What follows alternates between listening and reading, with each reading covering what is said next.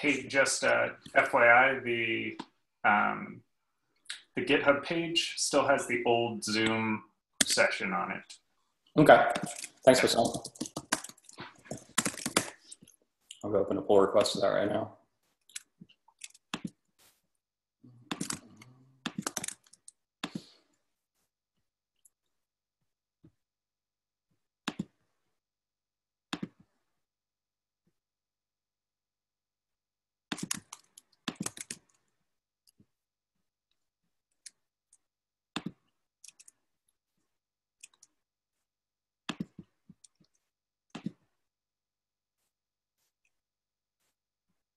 All right, that's all fixed. Thanks, man.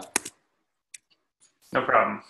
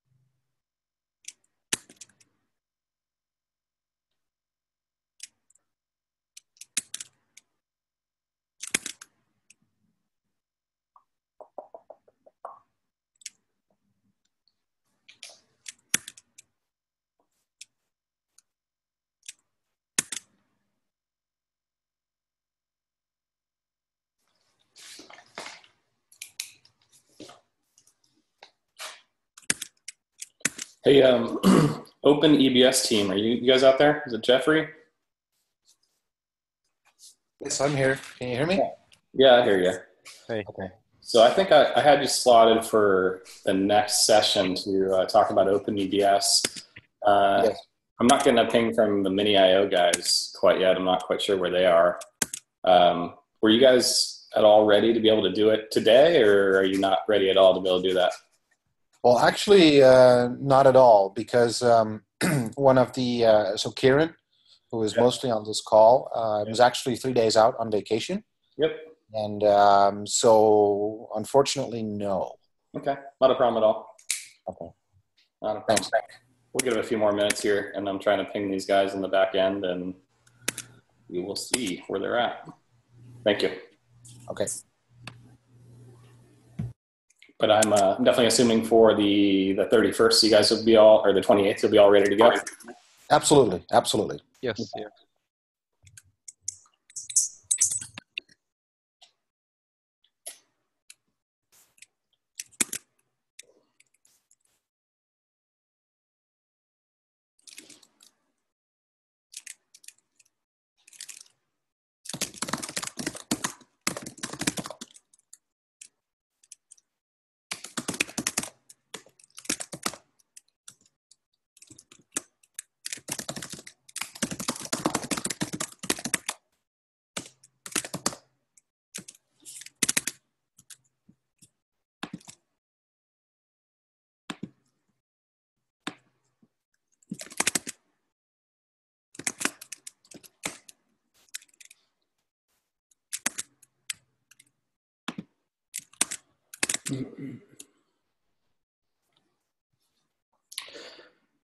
Good morning, folks. We have uh, Minio who's going to be presenting to us this AM.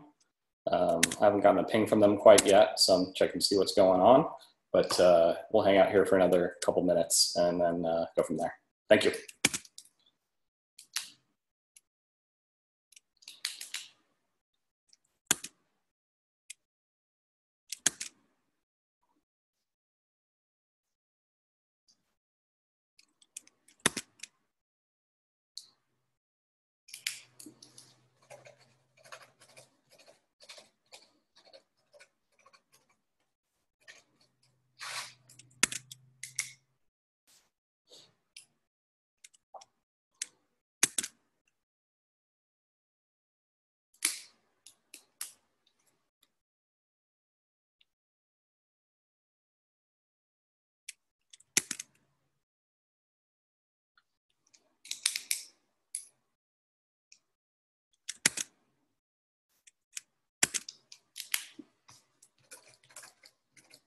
Hey, Bassam, you out there?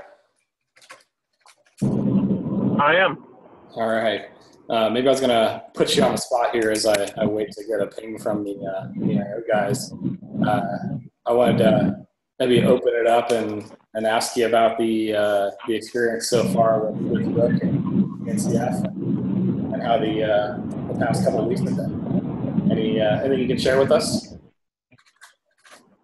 Uh, well, I mean, it's mostly business as usual.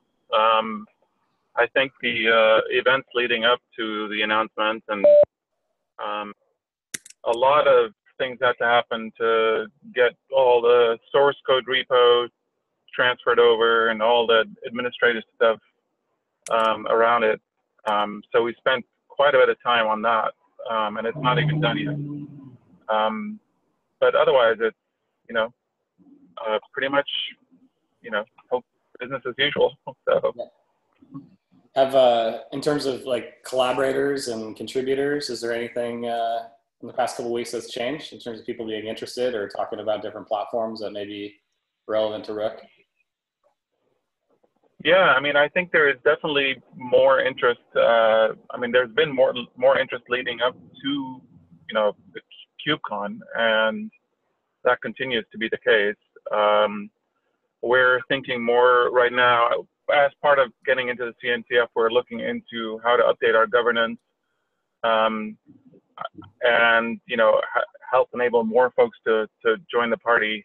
Um, there's also where you know the Red Hat team has kind of stepped up to help with Rook, um, and there are more folks that have expressed interest in you know uh, supporting it commercially or uh, as part of their portfolio of products.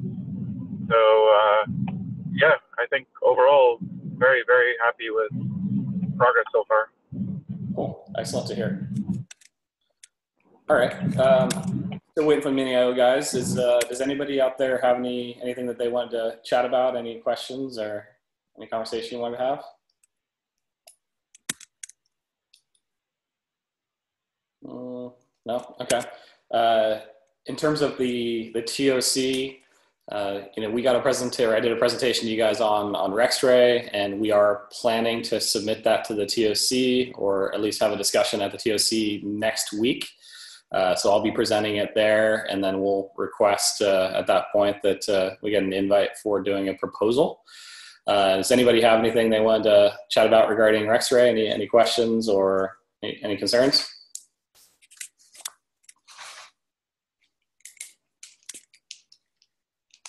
No concerns, but was that uh, recorded? I, I, missed the last meeting. Yeah, it was. It was actually. Um, so there, I think the, the, actual GitHub page is a little is behind. I don't think it's been updated in terms of the uh, recordings, but these have all been recorded. So I will ask uh, Chris Aniszczyk to to go to the archives and make sure that he gets the, uh, recordings published on the website and uh, you can check in with the GitHub page, and you'll be able to pull that up and, and, and listen to it. Cool, thanks. Yep. Okay, uh, so we, we did have Minio on the agenda. Um, they unfortunately are a no-show this AM, not able to get a hold of them. Uh, unless we have anything else to chat about, I think we can, we can pull this one early, and then we can do uh, hopefully two sessions in the two weeks from now on the 28th. So we'll have, hopefully we'll get Minio to present and we'll go, also get OpenEBS to present. Uh, hey, Clint. Hey, yep. Clint, this is Ur. I don't know if my connection is well, but I'm from Minio, so I'm not sure where the other guys are. I'm, I'm working remote, so I'm not with them in the office. Um, but if you want, I can start doing the basic presentation. I'm not sure. Um, did you get any connectivity from Garima or? Uh, yeah, I haven't gotten any contact. Um, you're you're a little bit choppy in terms of your voice. Uh, okay, let me dial, let me dial in, and if you don't join by then, I'll I'll get started on the basic overview of Windows. Okay, sounds good. Okay. I'm just dialing so I get better connection. Okay, thank you.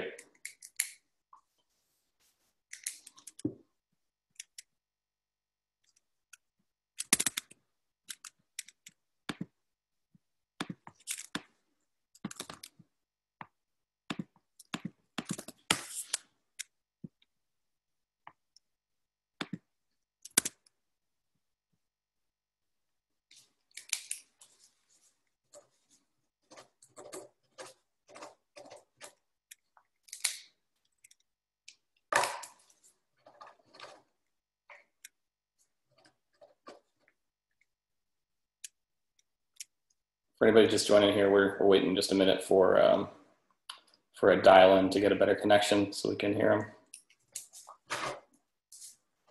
Is this a, little better or still bad? This is No, it's still still pretty choppy. Okay, all right, one more try.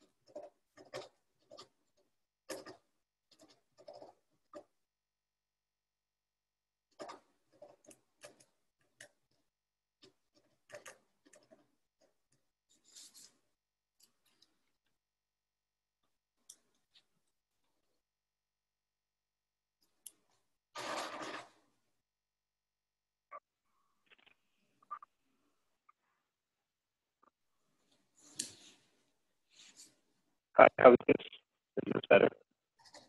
Uh, I I think it's still choppy. Anybody else out there? Is it uh, is it choppy for everybody? Yeah, I can barely make it pass. I can, I can hear it. All right, all right, guys. I'm gonna try one more last thing, and if that doesn't work, there's something wrong with the services I got. So just give me one more.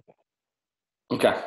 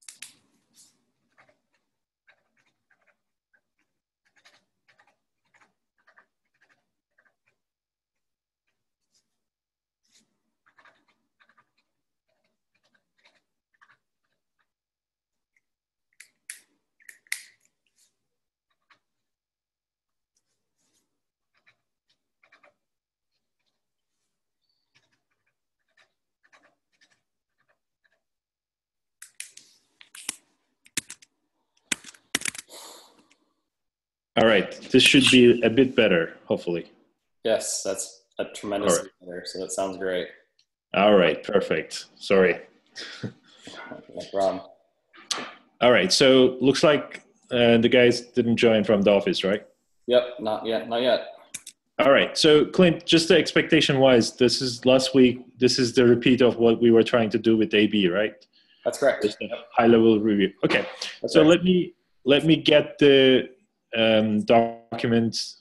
I'll just go over what we were planning to present to you guys. Do you do you just ha- share the document, or should I just go ahead and share the screen? How do you Yeah, want go to do? ahead and share your screen. Uh, it's open for you to do that. Okay. So, as, So, uh, let me uh, let me set it up real quick here. Um, so I had a chat with the the Minio my IO team about a month ago, and uh, you know we're talking about you know cloud native. and We're talking about you know what's going on with Minio, and you know I, th- I think that they had a a good perspective on uh, you know what's important in these environments and and how storage can fit in the future uh, as these cloud native environments kind of emerge. So I, I asked them to do a, a, little bit of a kind of open up about what their perspective is on, on you know what what Minio is going to do in terms of like what market it's going to help fill, uh, and then also on what Minio is and you know where where some of the successes have been. So that's some of the context for you. Sure. Exactly. So I'm just going to bring up the presentation and get started. Um, give me just 20 seconds. Thank you. Hmm?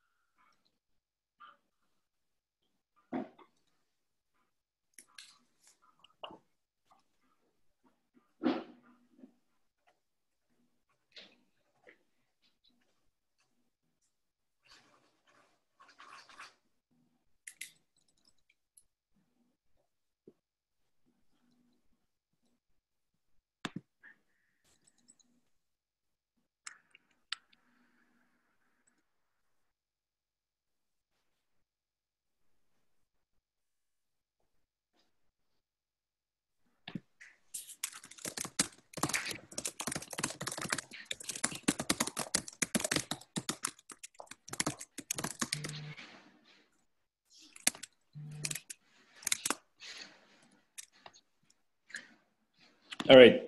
Do you guys see the full screen with the opening page? Yes. All right, perfect. Um, okay, I'll get started. Um, so I, I'm just going to go over and give you guys a general overview of who Minio is, what we do. Um, it's a general introduction. If we need to go into details and if I don't know the answers to the questions, we can always get the right people as a follow-up. But just wanted to talk to you about you guys about the how we designed it, the minimum principles behind Minio, and which market we're playing in, and so on and so forth. So it will be a very high level general.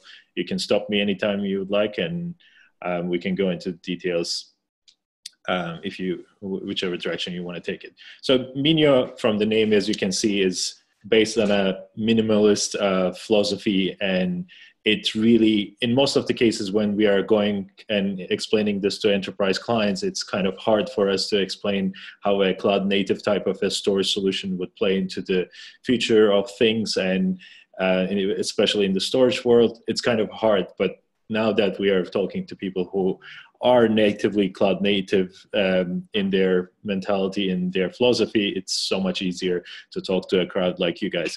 So essentially Minio is a very uh, simple high performance object storage that's being designed with the cloud native architectural and design principles in mind. Um, second page is just going over the, as most of you guys probably heard and know, it's about the um, the waves of the changes that's happening in the storage world from the disk to the appliance to the cloud. Um, Minio was established as an private cloud alternative for an Amazon S3 type of um, storage solution. Minio is 100% S3 compatible, and we take all of the S3 um, principles and S3 uh, compliance into to the heart, and we always try to make sure that um, S3 compliance is first and utmost.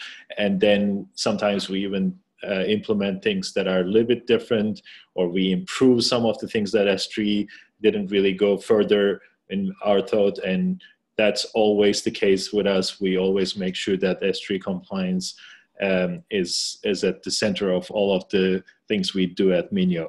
This picture is just showing you guys that you know how the growth of storage is doing, especially with the growth in IoT um, and other things that are generating a lot video, especially IoT, generating a lot of data. And the shift is everybody is moving towards the cloud, whether it's public, private, multi-cloud, hybrid cloud, and all of the buzzwords that you see in the industry. This is just trying to explain the the effort is going in that direction or the trends are going in that direction. Everybody's numbers are different, but that's just a directional uh, presentation of what's going on. This slide number three is where I wanted to focus on. Um, sorry, this, I'm going to just turn off the notifications so it doesn't disturb you guys.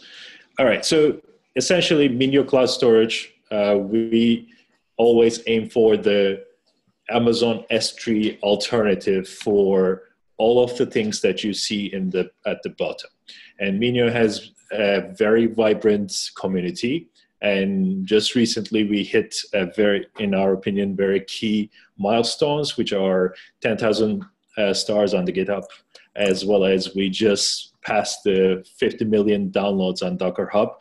Um, we are very happy and very proud of our community and the work they've, they've done and the support they've shown uh, Minio in the last couple of years until we came here. And we are just in the early days of our commercialization for enterprise enterprise customers.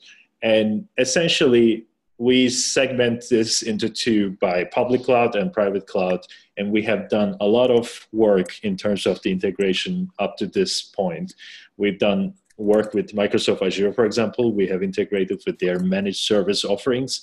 Uh, you can essentially run Minio software on Microsoft uh, Azure as a managed application.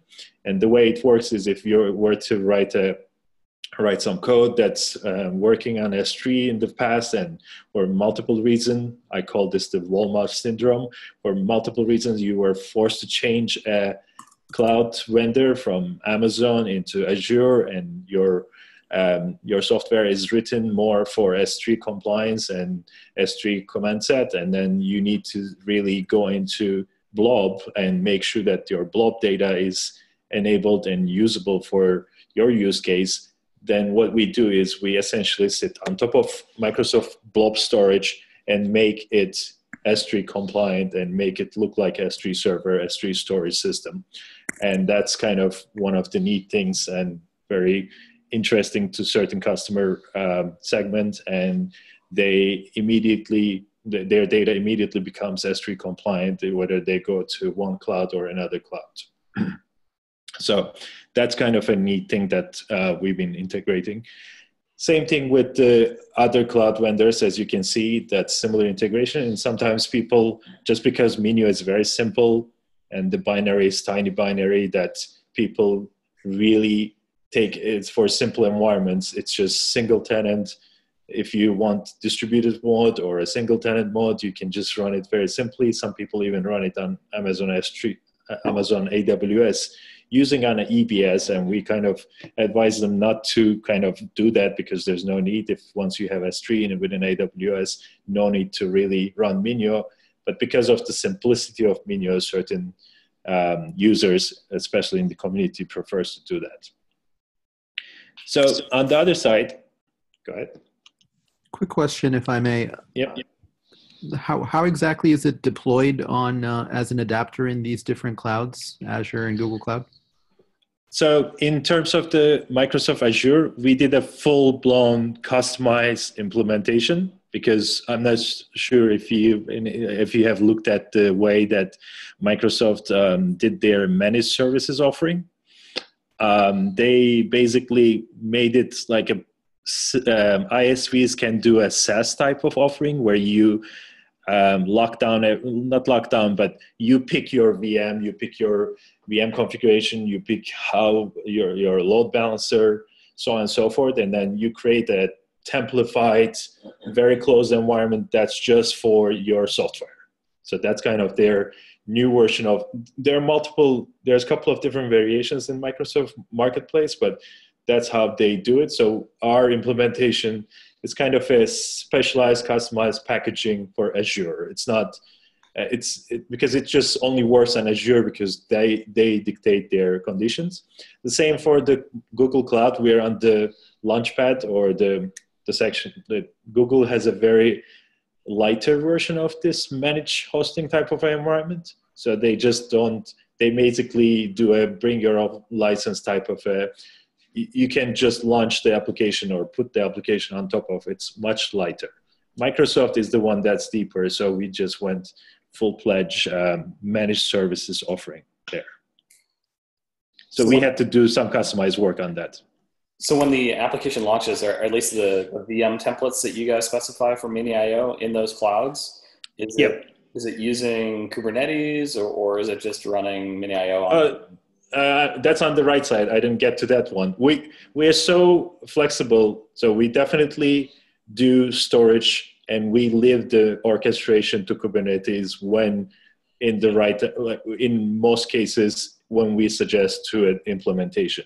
That's on the right side where private cloud we have the Kubernetes uh, integration, we have the cloud native, and it's a let me so call it this lightweight integration, which is the Helm or the uh, file, basic the file generation, and then just launching the launching the Minio as you wish in terms of the configuration you put, especially like in the Minio.io website, you can just go in and put your configuration and create the YAML file, and then you just use that to launch. And we live, we we left the orchestration and all the work that we don't do well to outside orchestration engine and kubernetes is what we go with and what we like to do. Same with docker swarm. You just go and create a swarm file and you just use that to launch and you modify. It's about 20 megabyte of binary that we have and we we just lightly integrate it into these systems so that we have the flexibility for different same with cloud foundry with pivotal same with uh, other with mesosphere. We did all these light i call it light integration but we, it requires a lot of testing and integration work. Then the users of those systems can do that and we just do what we do best doing the storage which is durable storage doing the erasure coding doing it in a light way with no metadata and a very performant high performance way. Those are the things that we shine and those are the things that we do well and we know how to do well. So we don't really claim to be doing the work of Kubernetes in terms of uh, launching it and orchestrating it, multi-tenancy and so on and so forth. We just do all the storage necessities that's required and that's what we focus on. I hope that kind of answers the question. For the other ones though, Microsoft Azure, that was a special case where we had to do custom integration because Microsoft managed services dictate certain conditions. So on the uh, private cloud side, if you deploy on something like a Kubernetes cluster, are you uh, uh, how are you backing the store? Is it like a host path? Are you using local storage? So what we we can do two couple of ways. One is let's say that this, we are responsible for the durability of the story. So we do erasure coding, and that's what we do best in terms of um, going across multiple disks or multiple servers, and we we kind of provide the uh, durability of the storage that way. So we are responsible for the durable storage, but in the backend we can use XFS, let's say, in the local file system, or Minio has a gateway mode. We call it internally gateway mode, but it can sit on top of other file systems. Let's say in that private cloud range, you can see EMC Isilon. It can sit on EMC Isilon, or the same thing with Blob. Actually, we sit native. We basically write. We don't modify any of the content, whether it's an Isilon or Microsoft Azure Blob. We leave the contents, whether it's file system or not, we leave them unmodified. So the good thing with Minio is we don't write it in any proprietary form or format into the backend. Therefore, you can access the same Isilon file using the file access mode or file access uh, protocols, or in Microsoft Azure, you can use Blob native protocols and you can still access the same file. But in the front end, you serve it as S3 compliance storage and you do put get and all the other S3 things that you want to do, it will still work. And is the backend uh, pluggable? Meaning, if I deploy on Kubernetes on top of, for example, Google Cloud, uh, could I use the backend as GCS? The backend of uh, Minio, you mean? Right. Yeah, so backend will be, we already take the backend and basically you need the backend blob or Kuber- in GCS. Uh, storage and you distribute across them and we do our own. Just, just similar to think about it as linux xfs local file system and you have six of them 12 of them multiple many of them.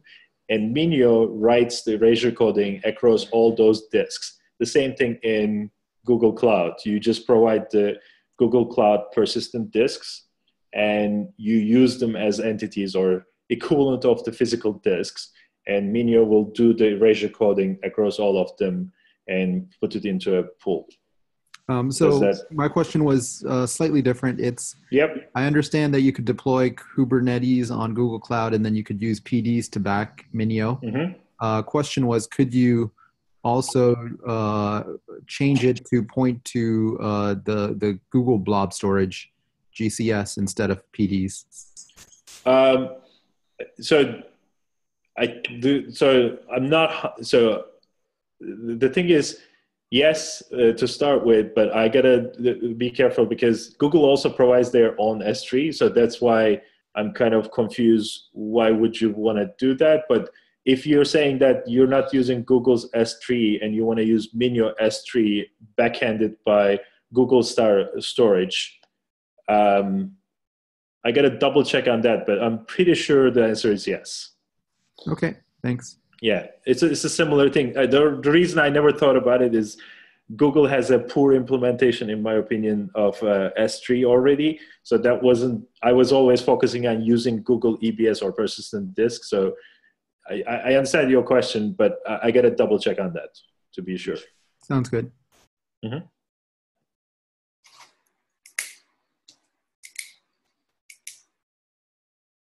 All right. So just to continue on that, all the other versions of private cloud is basically either you know orchestrations like Kubernetes or Docker Swarm or Intel JBOF. Like we we are also uh, trying to kind of educate and change the user base behavior into using more solid state disks. Provides enabled with the the, the, the, the software we have that utilizes certain um, certain uh, performance um, factors within the chipset, and especially in Skylake with Intel JBOF or any SSD JBOF, just bunch of flash arrays, or instead of just bunch of disks, we use the just bunch of flash arrays nowadays, and you can use any of these technologies to have a supercharged object storage. Normally in the marketplace, people look at object storage as tertiary or uh, secondary storage or a backup endpoint. We're trying to explain to the market or change the thinking around block storage in a way that SSD enabled with very fast erasure coding and very fast, fast throughput. Nowadays, people are going to multiple 25 gigs or 100 gigs. We believe that the way people, especially in the cloud native world, especially in the newer generation of databases from CouchDB to MongoDB to all sorts of other databases that are S3 compliant in the backend, people are going to change their behaviors and, and the enterprise will come soon as well that they are going to use databases more of snapshot targets with a high performance um, high performance object when it's provided, whether it's in private cloud or public cloud.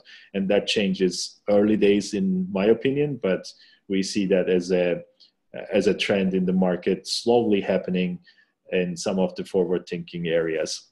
And the other Isilon I mentioned, VMware, as well as um, a, a vSAN kind of a um, compatible uh, storage, you can run it on top of vSAN as well. So the other slides are about which I mentioned, the Minio popularity in the development community with the Slack uh, the number of um, stars that we had, as well as the pools, Docker pools um, is a nice number to track. Uh, however, it repeats as you can imagine, but still it's a very good number compared to some of the other um, like some of the in, in open source storage world clearly we are uh, getting some traction and compared to other projects uh, we're still we believe in a good place and the trajectory is very um, very good in terms of where it's going Do you guys have any uh, large scale deployments that you can uh, share? In terms of the enterprise, we just in the early days of our kind of commercial enterprise deployments. We have a couple of POCs that's in the works, but they are not in production yet. So, and plus we don't have the approval from those large clients, uh, financial and others, that uh, they're, they're shy ones. I used to be working at a financial firm and they never want to talk about it. So, um, but we don't um, we are just in the early days that's um, but in the community we have um, a lot of references and uses. Just in the commercial side we just starting that journey just to be fair. Sorry. Sounds good. I, I don't have any specific that i can point Oh, out at this you. point.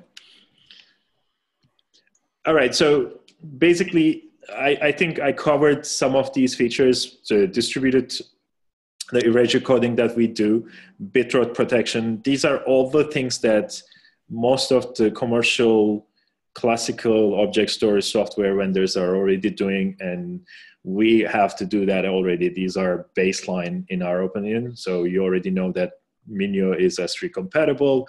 We provide the erasure coding and bitrot protection. Um, we are also changing to highway hash in our bridge, which is a different algorithm that provides um, much more performance in terms of the the way um, the bitrot uh, the erasure code has been done. In terms of the bitrot, this is a concept in the in the object storage world where you have the disk. Um, basically mechanical aspects of the disk state going bad and uh, changing the, the the parity on the on the bits and we do that um, that's kind of the things that you have to do in order to be a very durable and strong object storage. And distributed mode, I mentioned that, which is the which is the distrib- most of the enterprise clients that we work with and most of the larger deployments we use distributed mode and that's how you go we go with a uh, we, we change in the latest release we change and we relax some of that restriction but we were doing an n by two.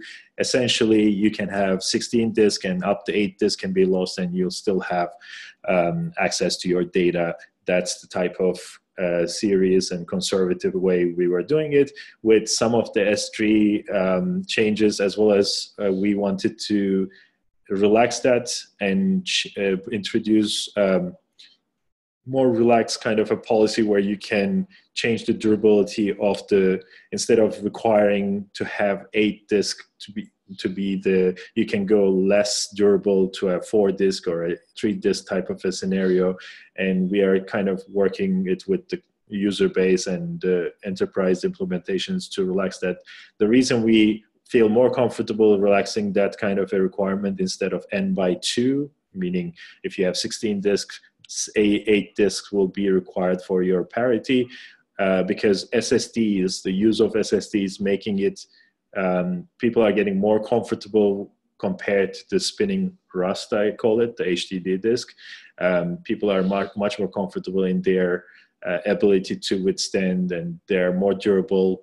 Um, there is a couple of years of durability difference between the HDD and SSD and there's not really good scientific data on it, but the, a few that's been done shows that SSD is proven to be more reliable. So we feel more comfortable with these um, JBOFs, the just bunch of flash or SSD disks that are in the servers. We can relax some of the stringent durability requirements that we had in the earlier days of Minio.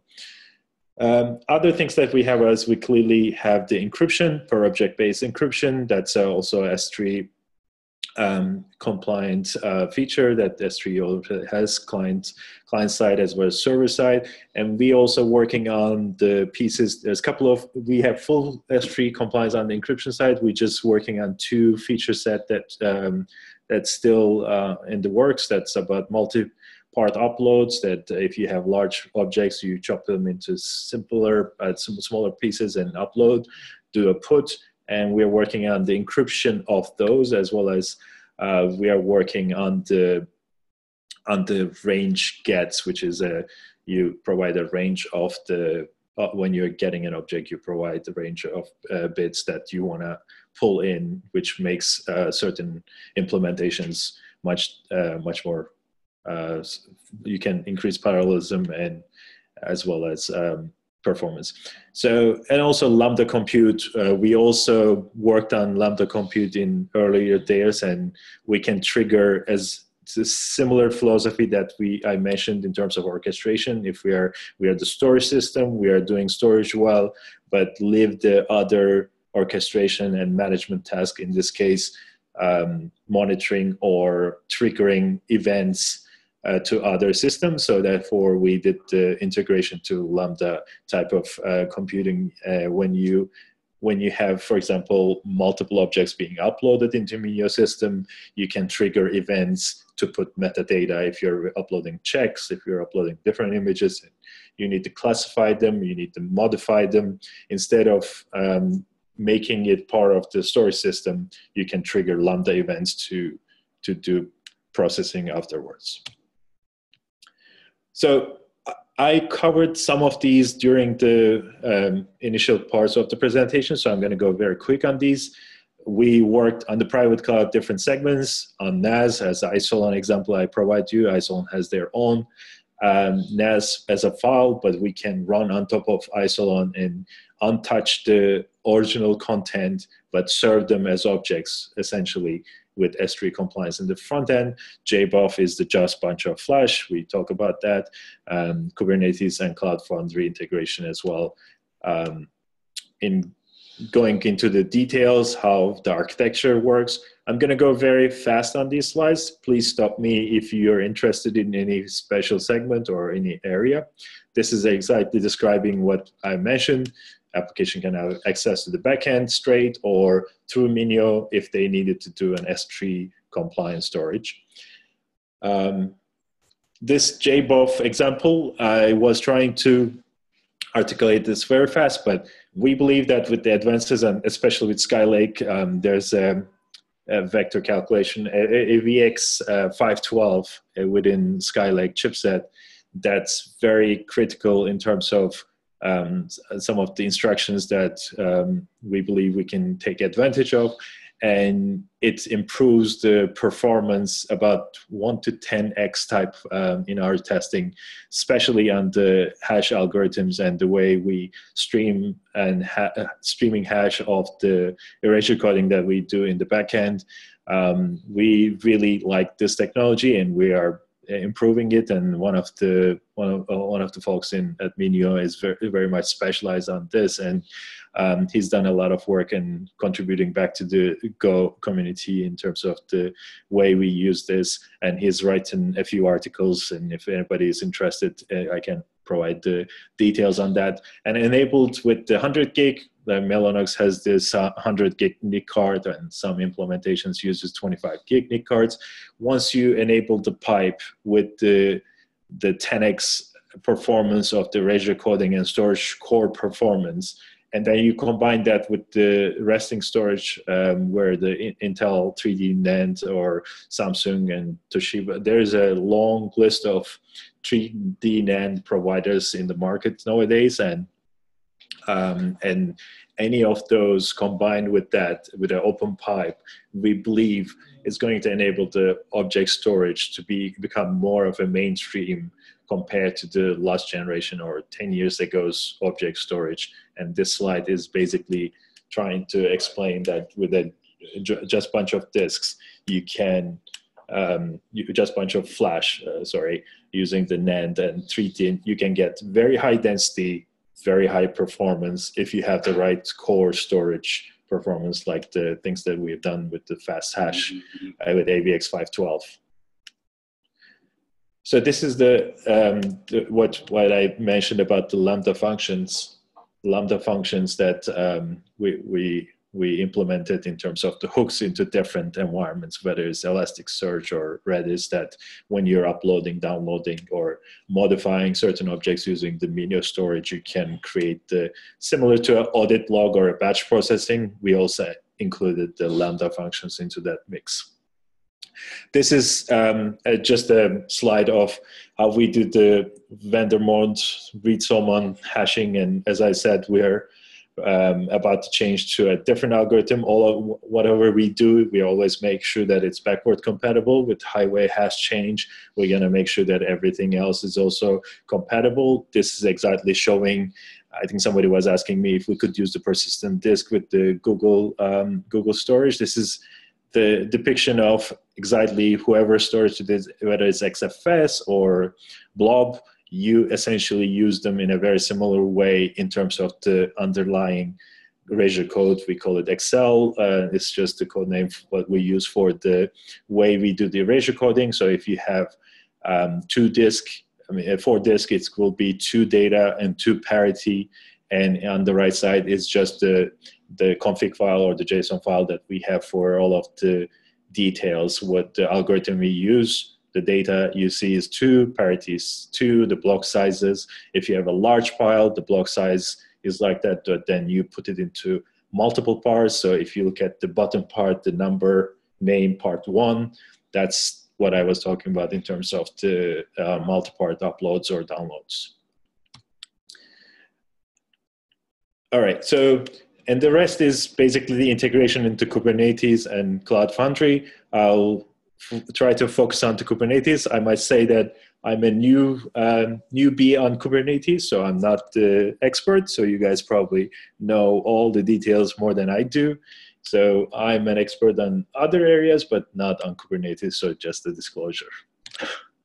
so this is just the uh, way we envision, or the way we um, we provide the high level introduction to how we how we do the Kubernetes integration or enablement. Um, essentially, if you go to the Minio.io, we have a really nice, uh, simple feature where you kind of translate between the between the um, what you need in an S3, the access key, secret key, the mod, which is how you use standalone version of Minio or the distributed. The examples I've shown you is all the distributed version of Minio.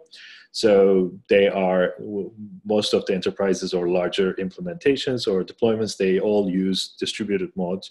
All you do is you put your access key, secret key, distributed or standalone, let's say it's distributed, and you put the number of nodes, in this case, let's say four nodes, and the size of the storage and it generates a file for you that you can do the kubectl create dash f and then minio deployment YAML file and that's kind of the light way work that uh, integration we do. And the same thing we have the helm install stable minio that's um, pretty much how we integrate it at a very high level. But we are very open to different integrations. And if the community or if the enterprise users are talking to a specific way of doing this or doing the integrations we are very open to that and we can work with that but i'm just covering the baseline how we do it and how we present it to the users and the enterprise community that we have in kubernetes how they should be doing it's a simple you use the persistence volumes mapping and we kind of translate between how Minio works and how you should how you would you be using your persistence volumes. The second one is basically the work we did very similar to the Azure managed services work. We also integrated natively into this is more of the same work we did, but a little bit not lighter integration, more deeper integration because Pivotal, similar to Azure, is a very closed ec- ecosystem, as most of you might know. So we had to do certain things to kind of integrate with that. This is just uh, showing their dashboard and how uh, Minio integrated into the details of the Pivotal and how a developer can go to marketplace within Pivotal and p- pick a Minio instance and then just like we do with the YAML file and Kubernetes, you put your access key, secret key, and um, it's just in a closed ecosystem that's fully integrated. That's just what it is essentially. And this is just a CLI example of that. And the last page is, uh, this page is the piece about the high level architectural of how you could be using it with, um, with, with, a use case on Cloud Foundry. Um, these most of these I covered, so I'm just going to show you some screens. This is this is basically what we have on the managed services uh, deployment site. If you're not familiar with Azure, this is how you kind of um, deploy the number of VMs that you need, um, your resource groups, and essentially you have a fire load balancer and multiple different um, VMs. In our case, we recommend two, three for multiple um, for our managed hosting um, implementation. And this is just a high level view of how applications interact within the Azure system, whether with their DN, DNS or how they would be using the virtual machines and we have auto scaling enabled in Azure. So if somebody is doing some processing that requires more power, then it just automatically scales fully hands-off managed services where you need to have S3 compatible high performance storage against your blob. Hey, Ugur. Um, yep. How about the the service broker? Uh, what what is that enabling with Minio? And and I assume it's really Cloud Foundry today, but what does that look like from a user experience? So service broker in what uh, setup or implementation? I, I think it, you referred to it in the Cloud Foundry setup right now. I think we're talking about doing one for Kubernetes in the future. But what's the user experience like for that if you have it Minio configured under Cloud Foundry and, and someone who's a consumer wants to go spin up an app to use Minio storage? What's the experience like? So I, I, don't know you're, if you're familiar. So I tried this myself. The user experience in Pivotal is very, uh, very much within the ecosystem of Pivotal. So that's probably not a. So essentially, this is the user experience um, initiation. So this is how you go in Pivotal to launch a service. And in this case, you pick the Minio object storage as service in that sign there. And then you configure your instance.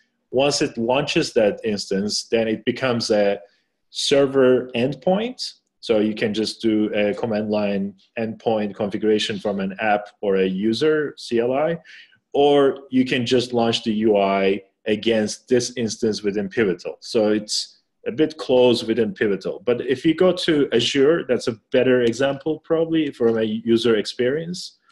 Essentially, once you launch this Azure um, managed service, I don't know if I have a good picture of it, but it becomes a managed service or a service running within Azure, backed by all the things that you would require, you would get from a cloud, full-blown cloud, a a load balancer in front of it, a couple of VMs, running the Minio software that's enabling you to access your blob storage that's already existing in within Azure with S3 front ends. Okay. Just let just to simplify.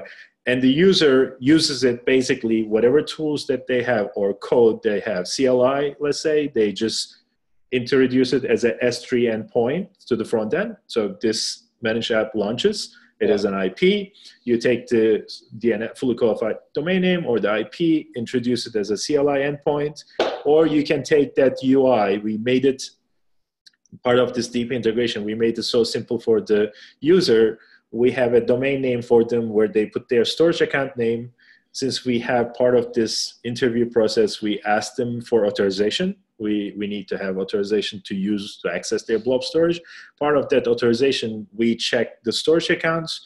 Whatever storage accounts that they already have in Azure, we can enable them to reach that blob storage using a UI that Minio has a very light, simple UI that they can use that with their storage account and full access to their blob storage, upload, download using that, or just use the S3 command set and tools or the code that they already have that S3 against this endpoint. So I think there's, yeah. there's two distinct consumers here, um, or mm-hmm. or two different roles that I'm thinking about. One is the provider, and that's the person who's going to go to this Azure console. He's going to go to you know the Pivotal console, and they're going to launch Minio instance to make it available.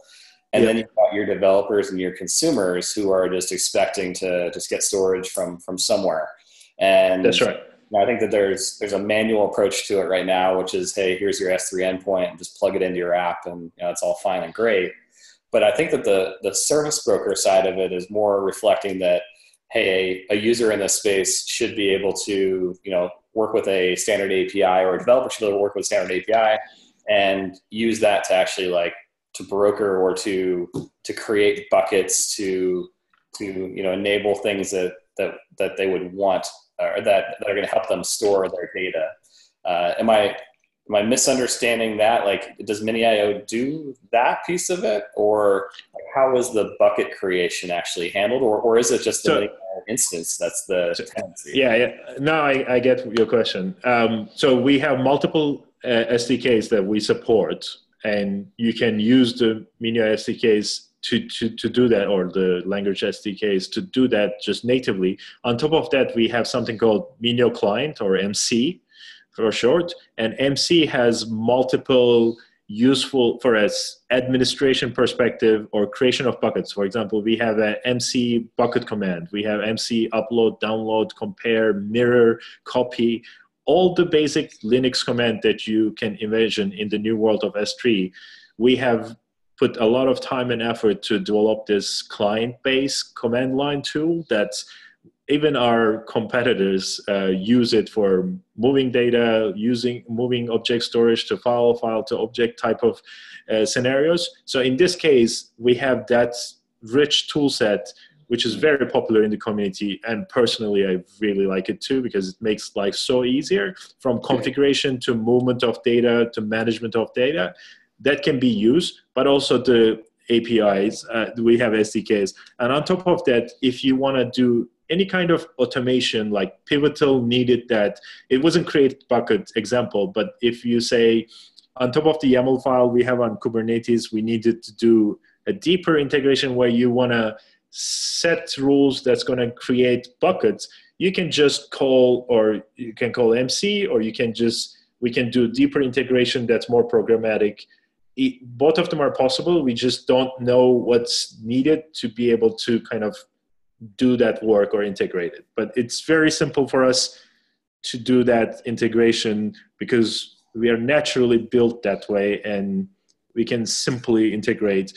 But even without any official integration or work, we can use the MC command line set to do all of the basic configuration and management of objects or buckets. You can just do an MC make bucket and create all the things you need. You can Okay. just do a MC config and add all of those endpoints we were talking about, whether it's Azure or Isilon or Kubernetes. All right, uh, we've got uh, two minutes left till we hit the top of the hour. Is there anything you wanted to finish on real quick? And maybe we have time for one question.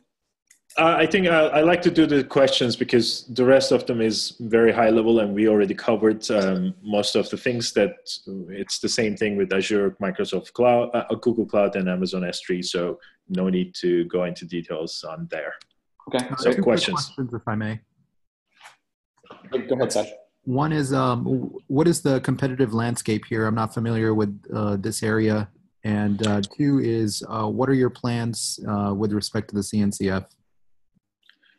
So first question is, we are kind of a different perspective on the landscape of object storage. But if you take the name object storage and the classical players in that area, in open source, we clearly have a lot of traction. But if you mix the commercial implementations of object storage, there are multiple players from Cleversafe, which is now um, a different acquired by uh, IBM, to Cloudian, to Scality, to Ceph in uh, in a different way.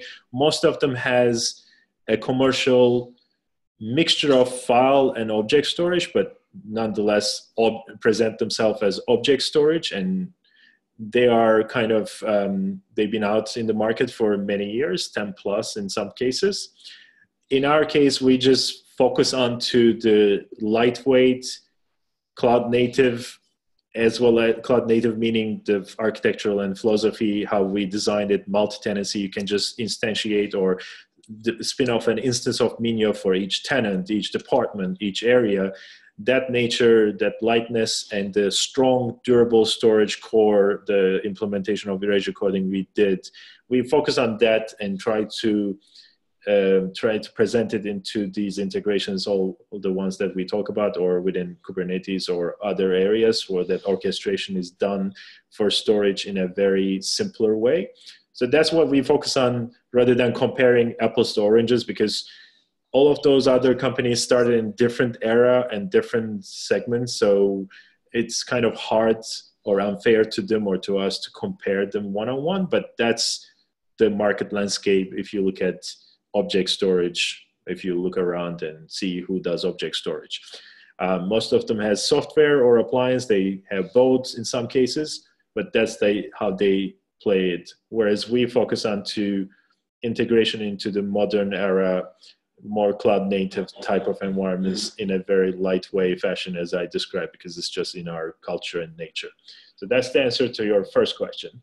Second question is, we really like to see cloud native, uh, I mean, uh, CNCF to, I believe you guys are focusing on block and file already, but there's no kind of a, a driver for the object to be the de facto kind of the, you know, I'm going to refer to maybe it's a hidden within CNCF, but like the OpenStack had all those things with Cinder started first, and then Manila wasn't there, and Manila was created, and uh, object was natively there. Whereas in CNCF, I see it as the opposite. Like object is there, kind of. I'm been reading and bringing it up myself with REX-Ray and other things, and uh, and also Rook and other things happening there. But object should, in our belief, with the changes in the market, be another abstraction layer or another driver for integration for CNCF. And we would like to help and contribute and uh, listen to you guys how you see it and help in that direction. We want object to be on the radar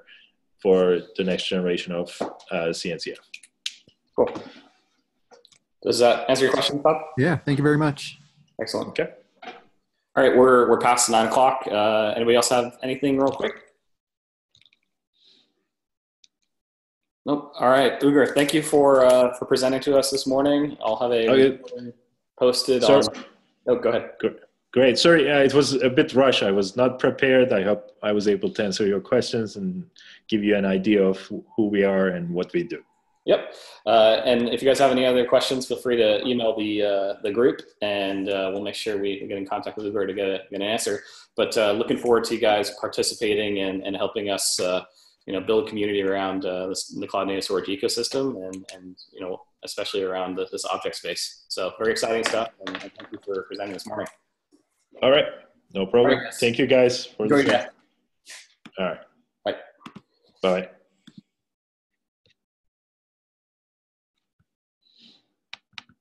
Oh, hey, quick. The, the Sure, guy I'm- who's doing the presentation. Uh, Yeah, I'm on could- the line. Yep. Yeah, could you send out the uh, the slides that you have? Uh, sure. I think we shared it with Clint, and he was going to do whatever he, he does okay, he'll, he'll the put it on the presentation. there. yeah, Yeah. exactly. But if not, we can definitely resend or Okay, just email awesome. me and we'll get you. Okay. Yeah. No Thank you much. Cool. No problem.